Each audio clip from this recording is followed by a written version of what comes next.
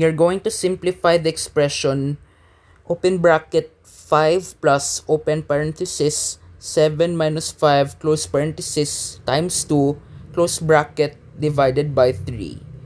Please don't forget to like this video and subscribe to my channel. And let's get started with the solution. Let's focus on the parenthesis 7 minus 5.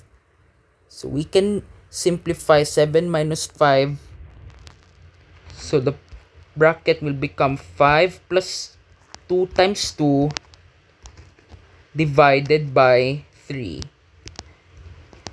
And since multiplication goes first, we will simplify 2 times 2. So 5 plus 2 times 2 is 5 plus 4. Then 5 plus 4 is in the bracket divided by 3 and we have to prioritize the bracket.